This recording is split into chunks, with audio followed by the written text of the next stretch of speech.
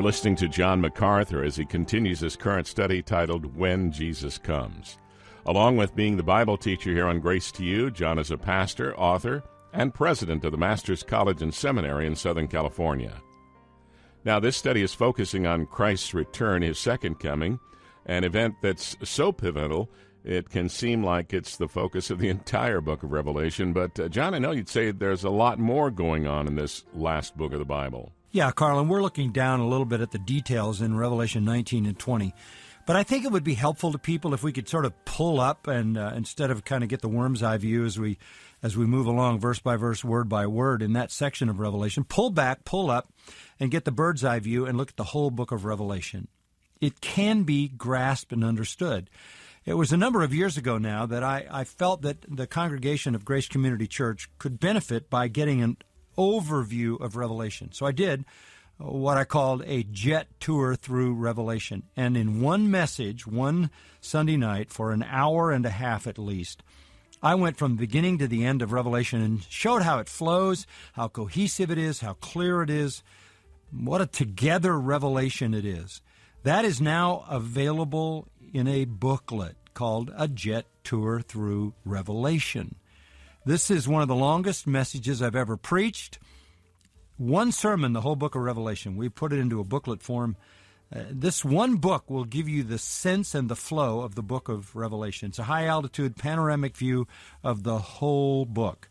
What a tremendous ministry this has had through the years through our ministry. We'd love to get one to you. Here's the good news it's free. That's right. We'll send you free of charge a jet tour through the whole book of Revelation. All you have to do is contact us. Tell us you want a free copy of a jet tour through Revelation. We'll get it out to you as quickly as we can.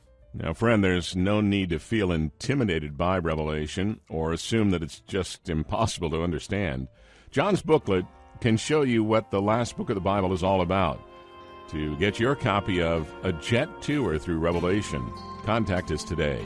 Mail your request to Grace to You, Post Office Box 4000, Panorama City, California 91412. You can also let us know that you'd like a free copy of the booklet, A Jet Tour Through Revelation, by sending us an email to letters at gty.org or by calling our customer service line 1 800 55 Grace. That number translates to 800 554 7223. Now, again, we'll send you a free copy, but if you'd like to order extra copies to give to friends and loved ones, maybe a small group at church, that booklet, A Jet Tour Through Revelation, costs $2. Shipping is free. To order it, call 1 800 55 Grace or visit our website, gty.org.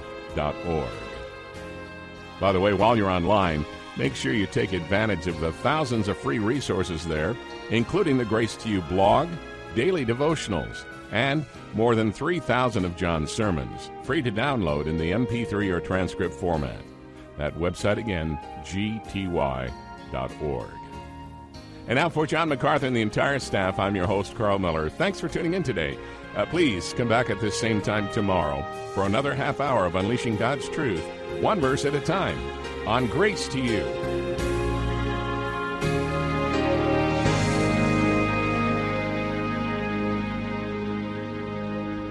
They say that an ounce of prevention is worth a pound of cure, but what cure is there if you're not prepared for the Lord's return? John MacArthur considers the question on tomorrow's Grace to You.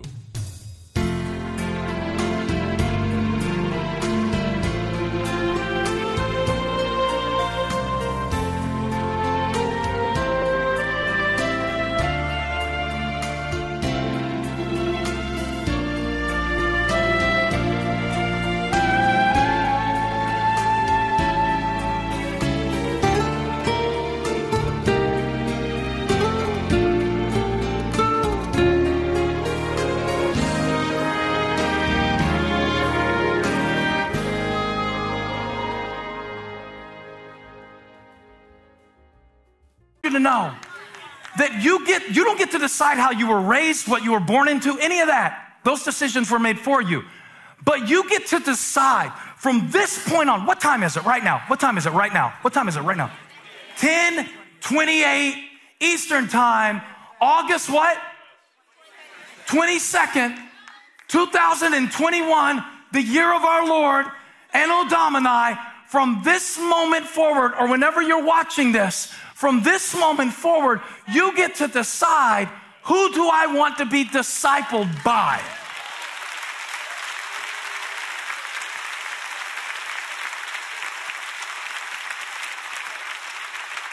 In the scripture, you have the Pharisees who have been discipled by generation after generation of scribes and teachers of the law. And the law was good. God gave the law. It was a gift from God. God gave them the, the Sabbath as a gift to reflect and remember. One little known thing about the Sabbath is that God said one time, I gave you this as a gift to remember when you were slaves in Egypt and I brought you out. Isn't it crazy that a gift God gave them to remember how they were set free from their slavery, they have now become slaves of the Sabbath? Mark says it real clear. He says that Sabbath is made for man, not man for the Sabbath. But by the time that Jesus is walking the earth and touching and healing and teaching with power, and preaching the kingdom of God and inaugurating a new order of things. By the time the, the true king has come, they have turned the gift that God gave into a prison. Anything can become a prison. Right now, technology is enabling me to preach this word to somebody who couldn't hear it any other way.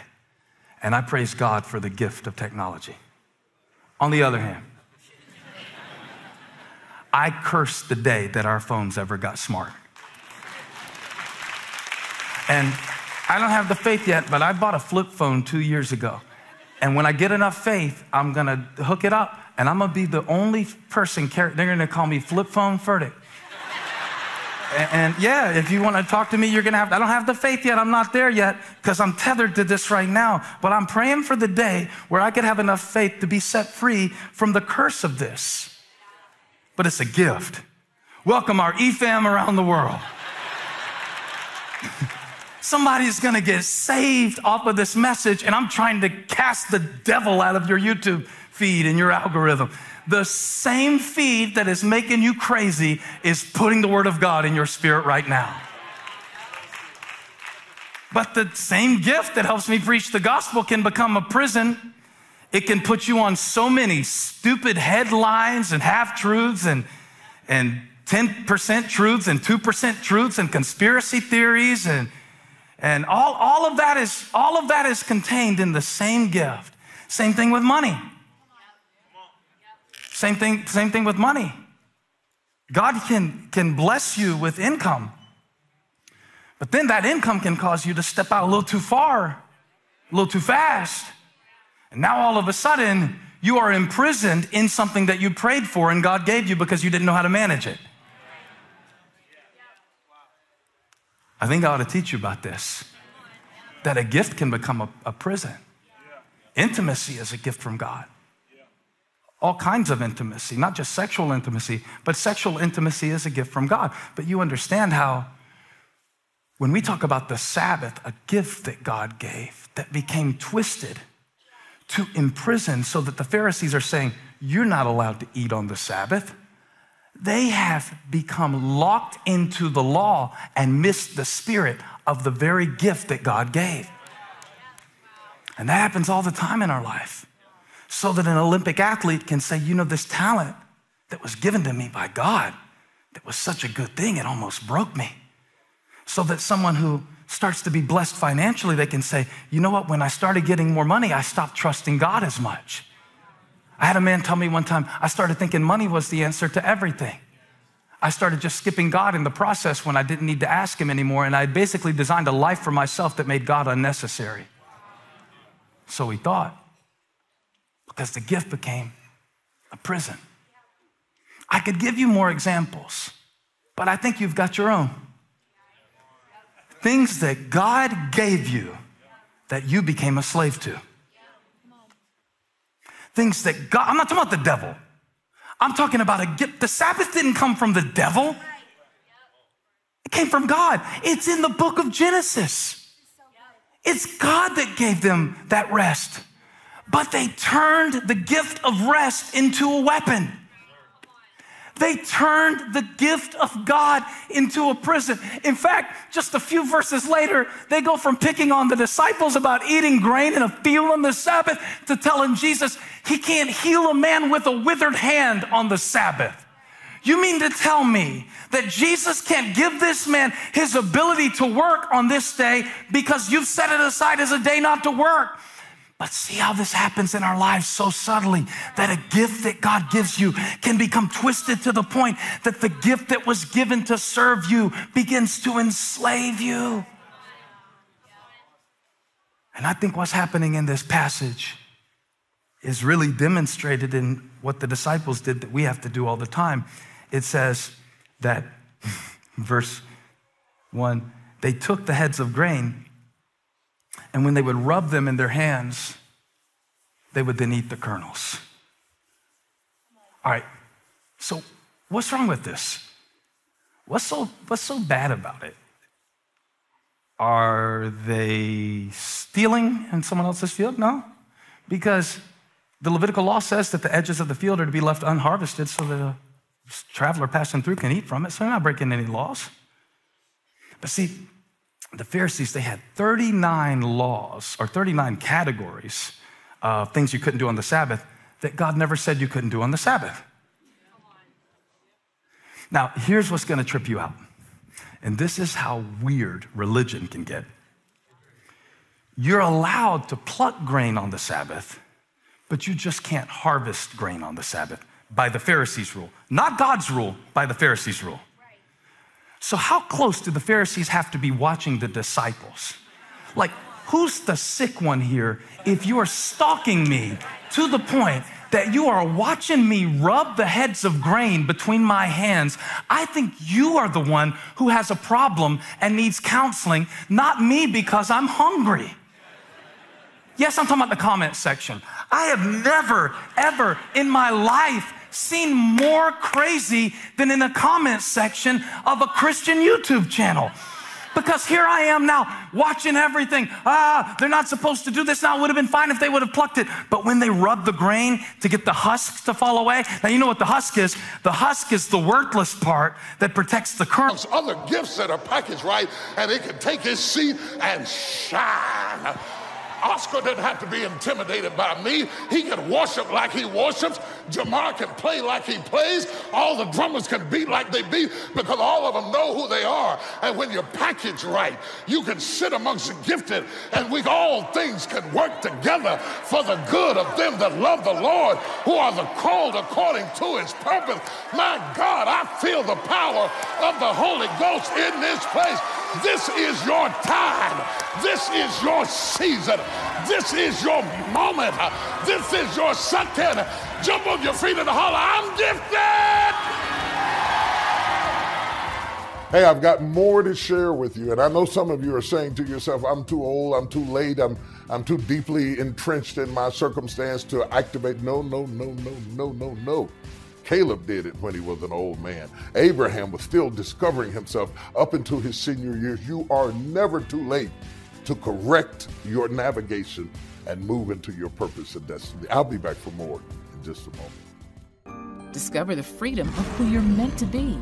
Greatness lies within following your instinct. If you've got the instinct, if you've got the inclination, how do you expect somebody to value it enough, to invest in it enough, to get behind it enough if you won't expose what you got? You got to believe in what he put down inside of you. That's in that man sitting next to you. That's in that woman right behind you. That's in your sister to the left. You may not see my lips moving, but my soul is saying, there's a lion roaring in me. Order Instinct today on CD or DVD when you call or visit tdjakes.org.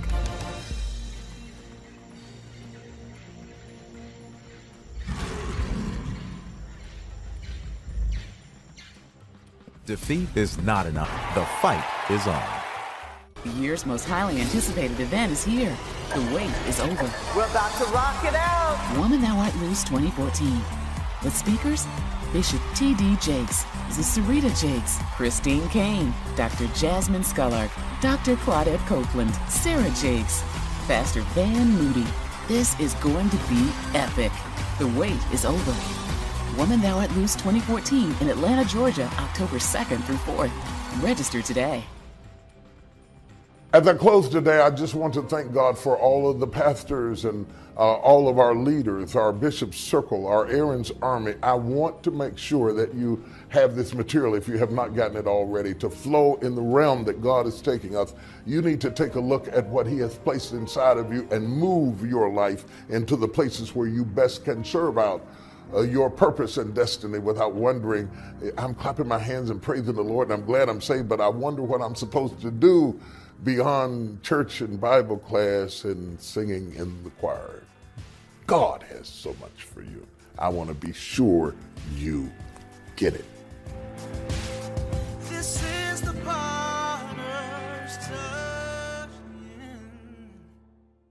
Paper Ghosts is a true crime podcast investigating the mysterious disappearance and brutal, unsolved murder of Tammy Zywicki.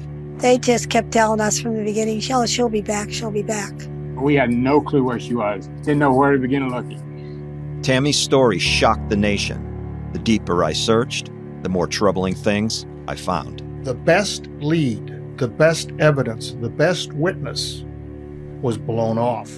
Listen to Paper Ghosts on the iHeartRadio app, Apple Podcasts, or wherever you get your favorite shows. Have you ever watched The Exorcist and wondered, are demons real? Well, we interviewed a leading exorcist to find out, and the truth was shocking. Tell me who you are. The one you won't get out. The one you can't. Levitations, vomiting, spitting at the priest with an uncanny marksmanship. That has not been a movie for me. Listen to The Exorcist Files on the iHeartRadio app, Apple Podcasts, or wherever you get your podcasts. Did you know Lance Bass is a Russian trained astronaut? That he went through training in a secret facility outside Moscow, hoping to become the youngest person to go to space? Well, I ought to know, because I'm Lance Bass. And I'm hosting a new podcast that tells my crazy story and an even crazier story about a Russian astronaut who found himself stuck in space with no country to bring him down. With the Soviet Union collapsing around him, he orbited the Earth for 313 days that changed the world. Listen to The Last Soviet on the iHeartRadio app, Apple Podcasts, or wherever you get your podcasts. All right, guys, this question is from SteveHarveyFM.com and it's from Pamela in Virginia. She needs some advice. Pamela says, Hi, Stephen family. I'm 42 and I've been married for six years. My husband and I survived being quarantined together, but he got on my last nerve, wanting to watch all of my shows and commenting on them.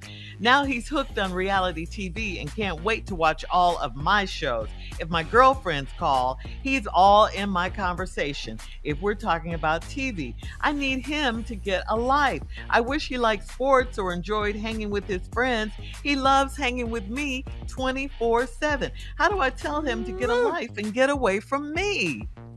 Well, let me say this: if he watching Ready to Love, I can't be mad at him. You understand what I'm saying? I cannot. Right, if, right. if he watching Ready to Love, baby, then I understand he wants to sit there and Mhm. watch it with you.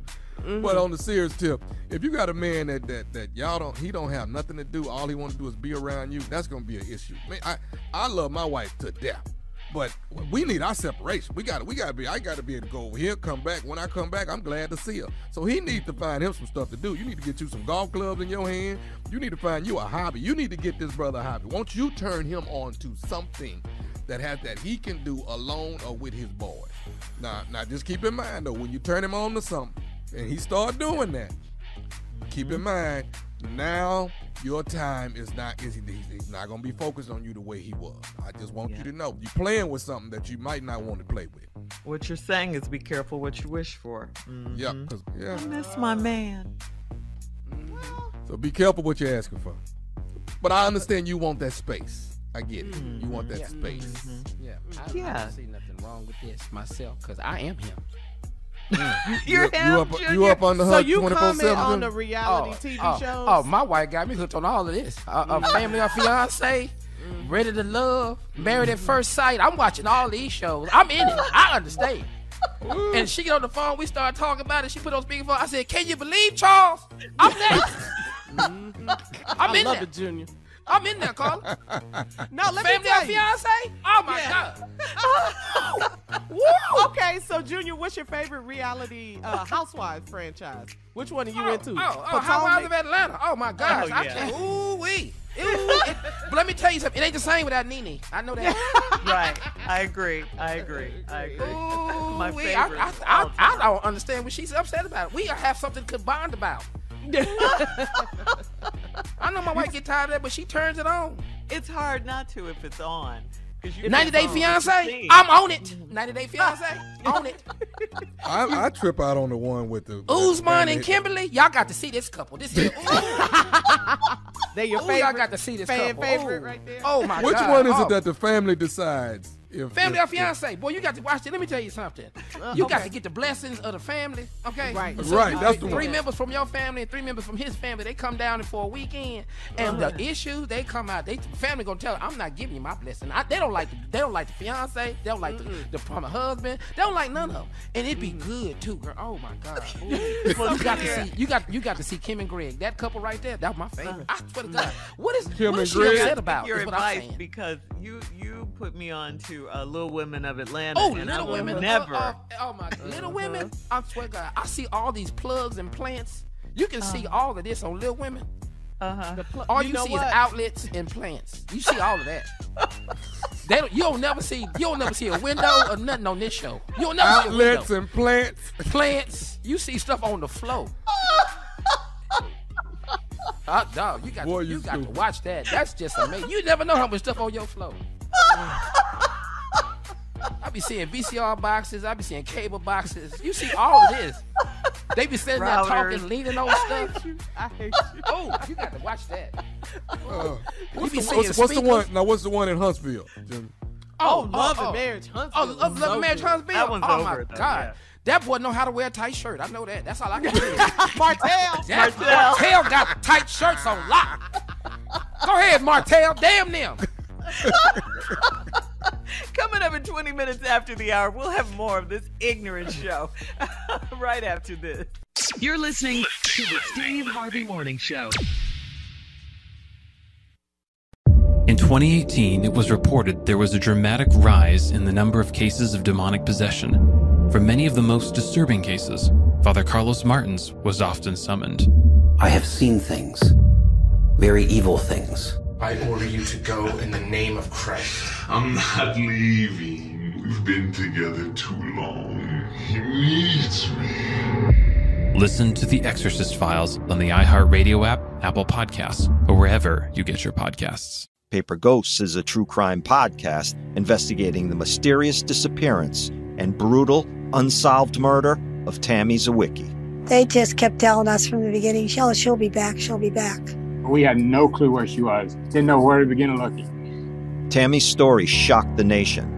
The deeper I searched, the more troubling things I found. The best lead, the best evidence, the best witness was blown off. Listen to Paper Ghosts on the iHeartRadio app, Apple Podcasts, or wherever you get your favorite shows. Did you know Lance Bass is a Russian trained astronaut? That he went through training in a secret facility outside Moscow, hoping to become the youngest person to go to space? Well, I ought to know, because I'm Lance Bass. And I'm hosting a new podcast that tells my crazy story in an even cr- This is science-based. And I, I've just written an op-ed actually suggesting that the scientists themselves should become the primary communicator in the public space of their science. Do not surrender that to political actors, to bureaucratic actors, even if they have a science degree, or to media commentators exclusively. Because they, even unintentionally, have a biased interpretation. They will use the science that supports for their preconceived notions, and they'll ignore the stuff that don't. Sci- Science, but you got to work on that. How do we improve relations between science and the political community? And then the last thing I get into is uh, what can you say to faith-oriented people as to how to participate in the political arena. And uh, on that, I go back to the New Testament. That the, you know, the historians say that Jesus of Nazareth, the first, he only had three and three and a half years of public work. The first year, he had this motley crew of fishermen and tax collectors, shepherds, whatever they were. They, they, didn't do anything except follow him around and see, see, what he did and see what he said. But about a year in, he decided he's going to send them out to do some public work in his name. But there's this whole passage in Matthew that gives them instruction. And the, the key instruction was be wise as serpents and gracious as doves, which are powerful analogies in the Jewish uh, lexicon. Wise as, as, a serpent. The serpent was the symbol of the devil. To be as wise as the forces of evil. And the dove was the symbol of the Spirit of God. Be as gracious as the Spirit of God. And so I, I say if you're a believer, and this doesn't just apply to Christians, if you're a faith-oriented person participating in democratic politics, being wise in how you do it and be gracious. And I always add, he did not say be vicious as snakes and stupid as pigeons, which some of us of a faith background are, are capable of doing. So these are all recruitment, uh, training, uh, special training for on the science side, the religious side. These are all things that could be done to, I think, to strengthen democracy. Well, let's let's talk a little bit about the last uh, um, detour that, that that the conversation took. That, and you've done a fair bit of work on navigating the faith political interface.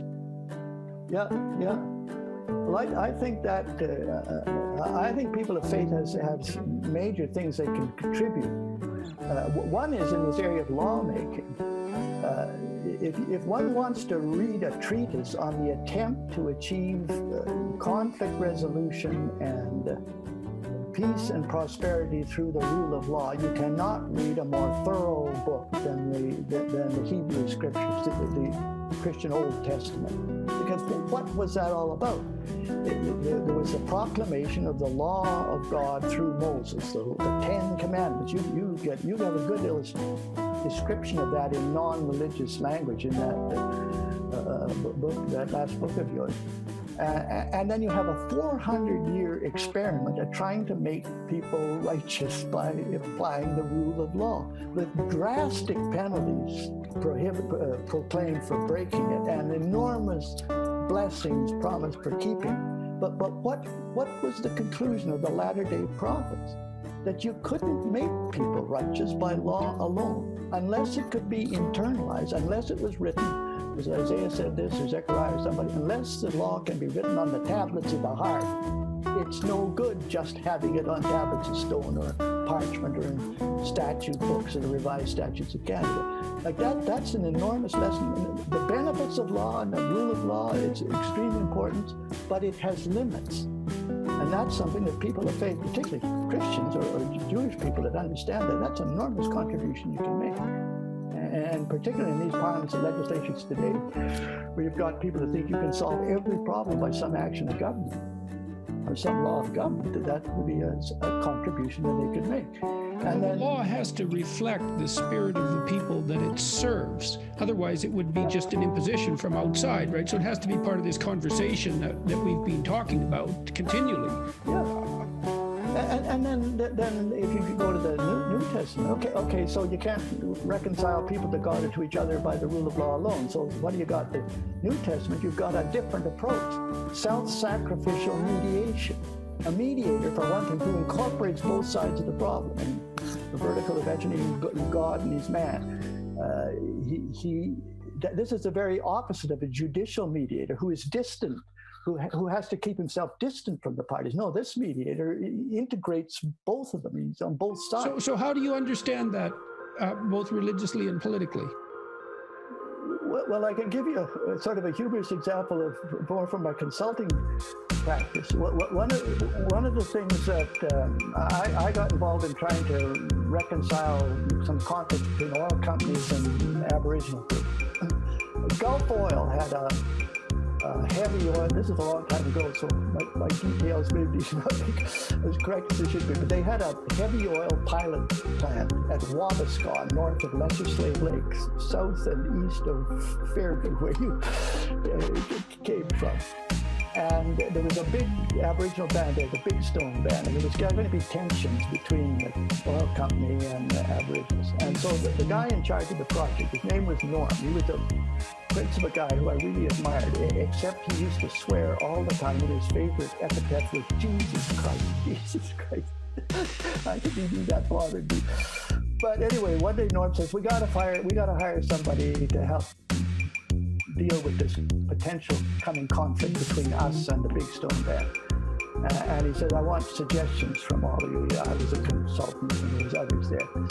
And so a few weeks later, he said, well, I, have got the suggestions back. The, the, legal people want a legal beagle because, they, they say this is going to get into court and they want somebody that can handle the legal aspects of the treaty relationship and the contract with the band and everything else. They want a legal beagle.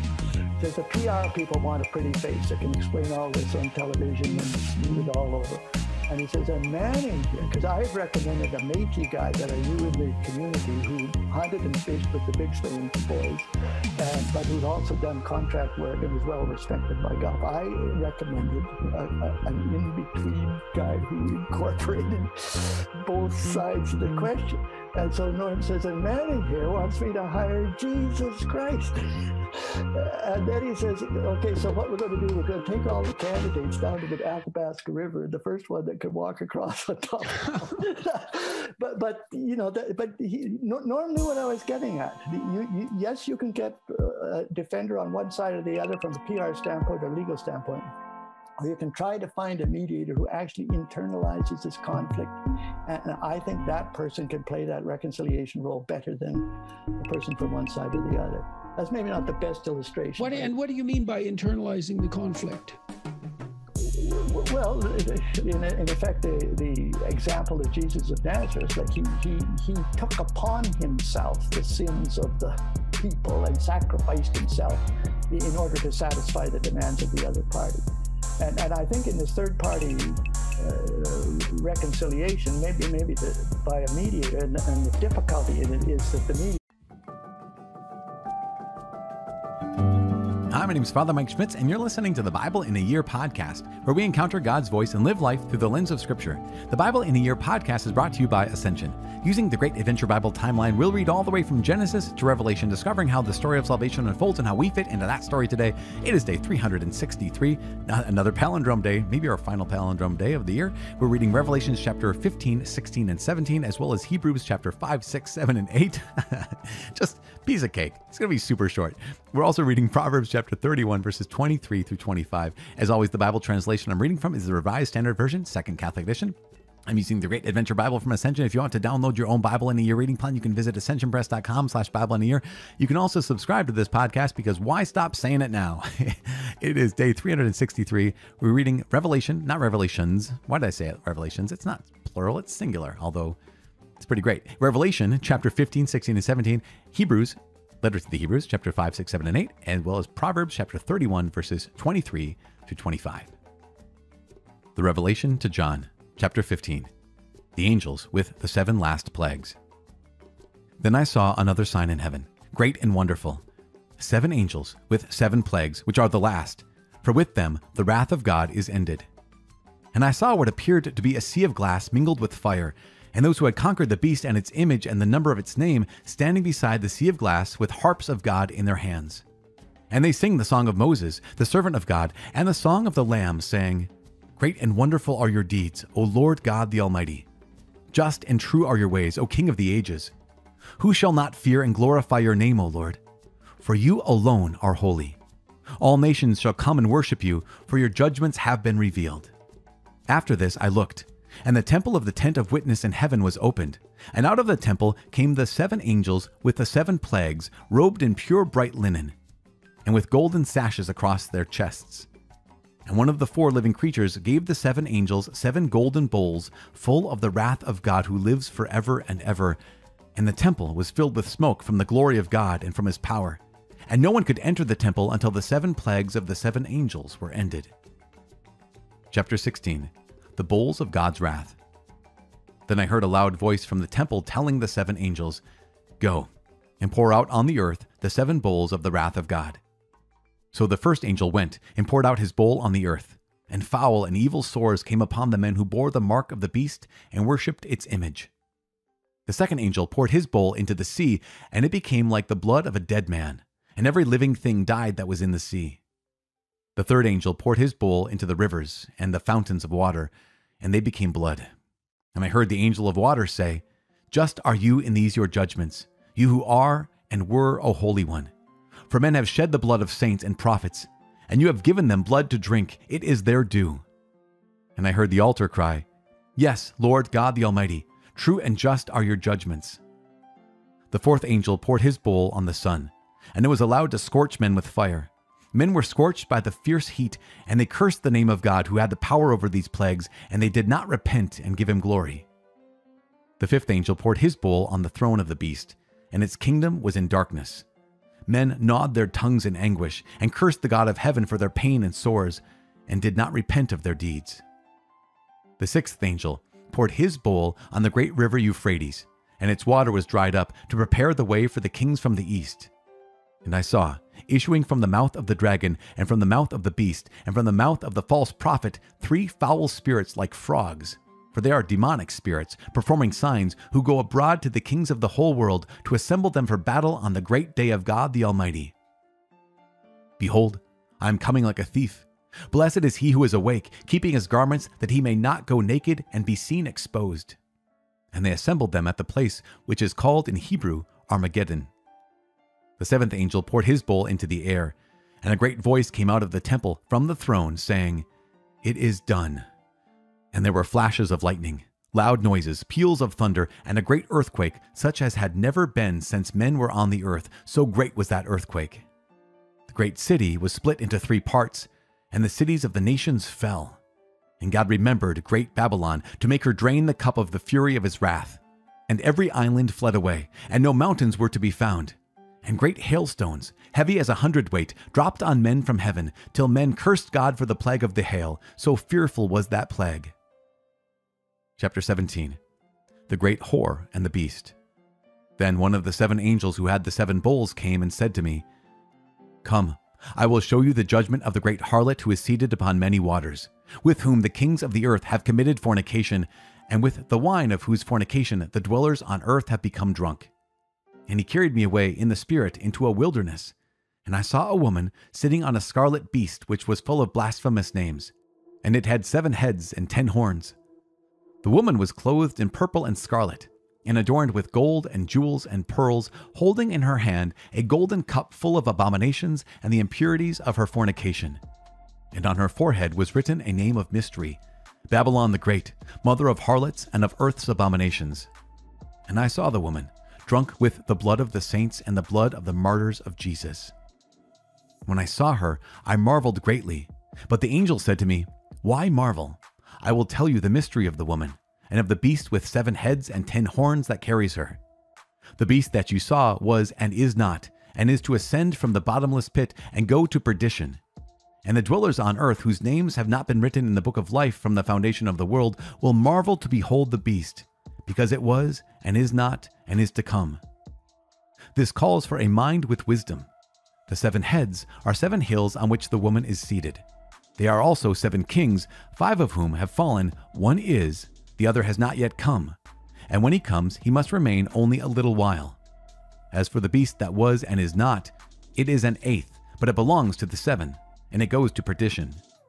And the ten horns that you saw are ten kings who have not yet received royal power, but they are to receive authority as kings for one hour together with the beast. These are of one mind, and give over their power and authority to the beast.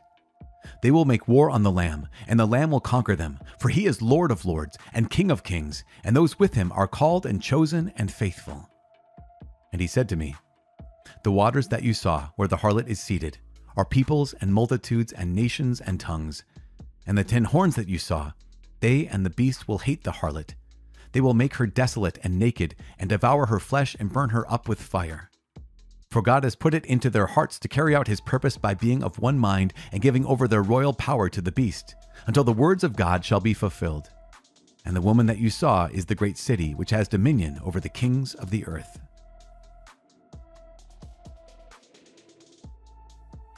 The letter to the Hebrews, chapter 5. For every high priest chosen from among men is appointed to act on behalf of men in relation to God, to offer gifts and sacrifices for sins. He can deal gently with the ignorant and wayward, since he himself is beset with weakness.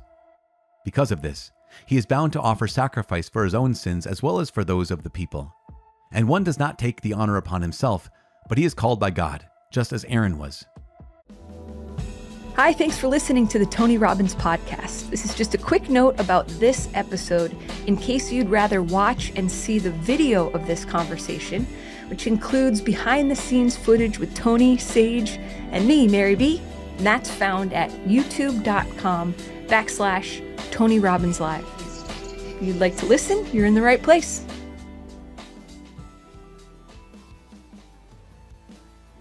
Hello there, everyone. It is an absolute privilege and an honor for us to be featuring Tony Robbins on the Tony Robbins podcast. Thanks for the invite, ladies. Hi, Tony. Hi, sweetheart. well, today's session, I'm joining for the very beginning again. These two ladies are going to take you on the journey, but you know, it's February and Valentine's Day is coming up right around the time we're filming this, or shooting this, I should say. And, you know, there's chocolates everywhere and the, the idea of romance being promoted. And a lot of it is feels false and saccharine, you know, just artificial. It's not authentic. I think a lot of people are really jaded about what love is because they've had love and now they associate pain to love. Mm. And it's not pain that the love is not the pain, it's the yes. loss of love that people fear. And so I thought maybe we could have a little conversation here with me in the beginning and then you guys can take over about what really is love and its incredibly powerful force to shape us because there's nothing on earth more powerful. Nothing will take someone to their knees quicker. I don't care the strongest warrior on earth, man or woman, than the loss of love. Yeah. Nothing lifts you higher than love. When when you're totally in love, what's wrong with life? Nothing. You know, you don't need money, you don't need background, but you'll figure that stuff out because love is that fuel. And I think it's so important that for people to think about that it is how we're wired. Babies that aren't physically loved, that aren't held, don't have kinesthetic love develop something called failure to thrive syndrome and they can die. Love is our evolutionary advantage. Mm. you know many species are born and you know the baby is the parents aren't there. You know it's an egg that hatches. And so the evolutionary advantage is they've got horns or they got teeth or they got camouflage. But if a human baby's left alone in the forest no one's there it's going to die. Our evolutionary advantage is that we fall in love which means we will put someone else's needs ahead of our own and I think that's critical. And that doesn't have to just be intimate love, you know, in the form of physical intimacy. It can be the love of chosen family. It can certainly mm. be the love of family. And we've certainly experienced a whole explosion of that with this modern family we have here and with our, our daughter who's just shy of two years, two mm. years old now it's been an explosion of love, wouldn't you say? It certainly has been an. Ex- you're an explosion of love. you are such a lover to all. You know, for those of you who've maybe ever had proximity or went to an event or attended one of our programs, uh, you know, what people always say is that if there's 10,000 people, I felt like Tony was speaking directly to me. And they might be like way at the back of the stadium. And that's love. Love yeah. penetrates or, or permeates, is more accurately, space and time. And it's that intimacy of, of one offering their heart. And you do that so generously, so abundantly, Tone. I mean, oh, every so day, day. And now it is who you are. It flows out of you. Uh, you're such a, a, a beautiful vessel of love in, in a form that's unexpected. You know, a lot of people look at you, this big, you know this big physical stature and not know actually the the real tenderness and sincerity um, that expresses as as your isness of who you are as well. Well my my mission is to have the people feel loved and cared for. Sometimes love is too strong, they don't believe it. But when you're up there sweating for 12 straight hours, the third day in, people get converted and they start going, this guy really means it. Um, but, you know, I just, this just got back from the JP Morgan uh, conference. And what I was really touched by in that environment was uh, Jamie Dimon, who's the you know the CEO of th- that bank, J.P. Morgan. Uh, the end of his whole talk and the, the, the thing that permeated the room mm. was this feeling of kindness and love. Mm. That that's the missing ingredient in our world, and to even have uh, the bankers say that. And then, you know, of course, Mary Callahan Erdoes, some of you read my books on finance, and she's probably one of the most influential women in all of finance, manages, I don't know, four or five trillion dollars now in business. And you, you just see she created an environment where everybody felt nurtured, cared for, loved, looked out for. But the most successful leaders that I know are heart driven leaders. I mean, what makes you a leader is you care about something more than yourself. You care about something, whether it's your family, your kids, or your community. There's something you love. That's where energy comes from. That's what changes life. So I just, I hope that we all know what love is. We all know we can't live without it. Uh, but we've all had disappointments and pain. And I hope that those out there will reconsider that love could be something you could open yourself to in the first steps of just kindness and just caring and mm-hmm. just warmth and, and love that's outside an intimate relationship. And if you can find that outside the relationship, it can also lead to the intimacy that so many people are craving. I know I've mentioned this before, but it always strikes me how, you know, even men in your life that are dear friends and uh, just how they're moved by the expression of how you care for them, how you love them. It's very demonstrative. Uh, that happens on stage, that happens at home. Uh, you are that. Uh, you are that. And, you well, know, so we. are you, my sweet. so is Mary B Well, here. takes That's one fine. to know one. Definitely takes one to know one. It's been 24 years since I hooked up with you, my weirdo. That's true. my wife is the weirdest human I love. I love, by the way. She's the most. I know weird wasn't on my list, but it's one of the great gifts. But the weirdness is touched with humor and love. Everything you do is love. You're the love to so many people. You're love to this whole family. You're the love to all the people in our companies. I mean, you just you exude it in every way, sweetheart, and that's why I'm so excited that you guys have kind of commandeered the podcast here, because so few people get to know what I get to know, which is you and Mary together, is just the love that you are and what all the gifts you guys have to share, the insights you have to share, and so.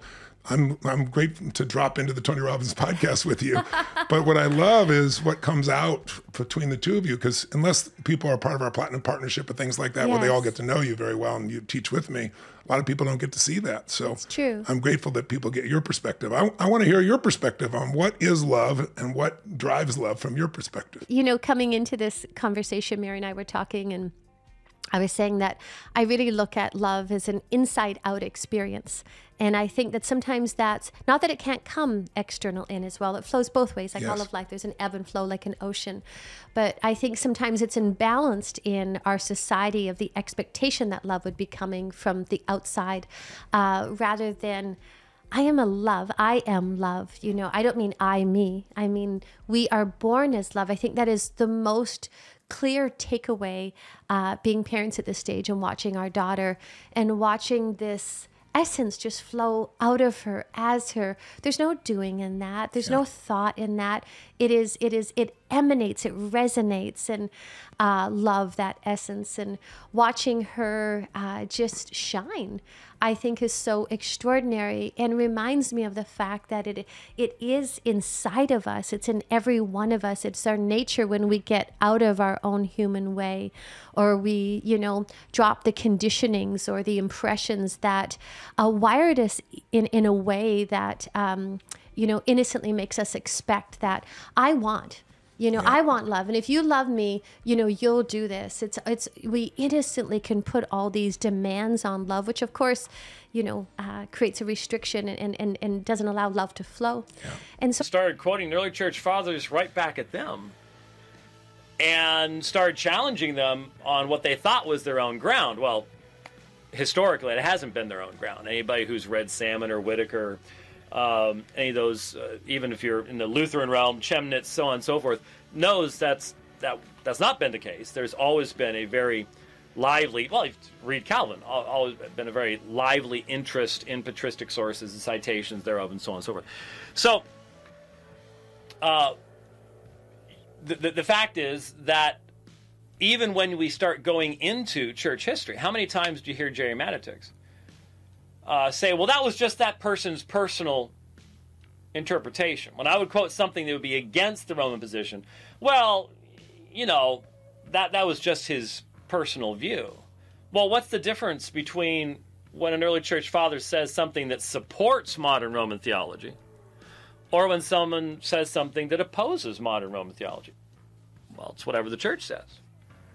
And I remember back when John Paul II was Pope, uh, he had said something that was in direct contradiction uh, to one of the uh, ecumenical councils, major ecumenical councils, and I pointed this out. And Robert Sungenis, who at that time was much more mainstream than, than he is anymore, uh, had basically said, well, well, James, the, the, the church gets to uh, interpret its own history. And so it's it's like today. Um, Rome has developed the very same type of progressive interpretation of its own history that quote unquote progressives, I call them regressives, or more properly communists, um, in our land today, uh, where the, the Constitution becomes a living document. What it was intended to say, the grammar, the words, the context, even the commentary of the founding fathers themselves, that's irrelevant. It's now a living document that we can change all of that into whatever we want it to be. Well, that's pretty much what Rome has said about our own history and our own writings. We don't get to interpret them. We, we can. We can go back to what those councils said. We can go back to Trent, for example. All sorts of commentaries were written in the decades after Trent, catechisms, so on and so forth. There really isn't much of a question as to what was meant in in so the vast majority of the documents. And but that's irrelevant because you see it's a living church. And so uh, as it's a living church, uh, then it's interpreted by the living magisterium. And so, if a pope in the past says it is absolutely necessary for salvation to be subject to the Roman pontiff, we know what he meant by that. We know what that meant in his context. We know what that communicated to the people around him. But that is now irrelevant because we live in the modern age. And, I, and no one, no one can look you and stare you honestly in the eye and say, I am absolutely certain that Innocent III believed exactly what Francis believes as the Bishop of Rome. Right, uh huh. And I've got some swampland out in Ajo, Arizona I'd like to sell you too. Uh, just, you, you know it's the case. You know that's the way it is. So, I now, if Allen Rule, if it's actually Bishop or Cardinal Rule, um, then okay, uh, that would give a little bit more weight to this. But as far as I know, it's layman rule. It's not father, it's not bishop, doesn't speak for the church, it's his own personal opinions. Um, and that's going to become important because he gets to interpret things his way, and the professors, priests, bishops at Boston College and other places, they interpret things their way. And how are we poor benighted Protestants supposed to figure this stuff out? I mean, man, I mean, in my own lifetime, uh, John Paul II, Ratzinger, Francis, they seem to have really different views on things, really different takes, different spins. Um, how am I supposed to know the living voice and blah, blah, blah. yeah, okay. So let's let's remember uh, Father Michael Mueller, in the Holy Sacrifice of the Mass, page 131, he delivered his body and blood to his apostles, whom he then appointed the priests of the New Testament. And to them and to their successors in the priesthood, he gave a command to offer by these words, Do this for commemoration of me, Luke 22 19. So the Catholic Church has always understood and taught. End quote. That is a lie. That is a documentable, recognized lie. It's a it's a lie of piety. Um, but it's untrue. But that's what's been taught within one realm of Roman Catholic piety and belief. I have a feeling that Rule would accept that with maybe some caveats because he wouldn't want to have to defend that because he knows he can't. But there's the Holy Sacrifice of the Mass. Richard Hanson, The Christian Priesthood Examined, Lutterworth Press, 1979, page 31. Does the New Testament recognize any individual minister as a Christian priest in virtue of his being a minister? The reader will not be surprised to find that this question must receive an ans- as an answer an emphatic negative. Next page. There is no mention of Christian priests. Uh, I'm sorry, there is no mention of Christian officials as priests in the New Testament, whatever. We have no ground for assuming that the large number of priests of the Jewish temple who, we are told, became Christians officiated as or were regarded as priests in a specifically Christian sense. Despairing attempts have been made to read the existence of Christian priests into various parts of the New Testament.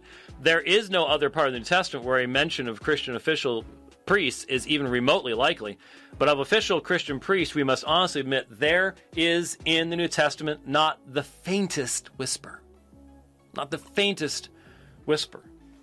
Later on, he says, No Christian priesthood is found in the New Testament. There is, in fact, no solid evidence that anyone thinks of, of Christian ministers as priests until about the year 200.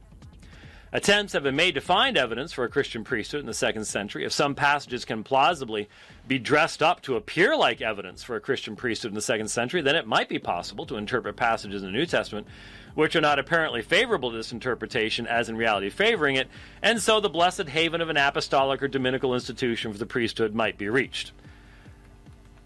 Likely candidates for the position of priests in the second century should be presbyters or bishops, but nobody called these priests at that time, page 36.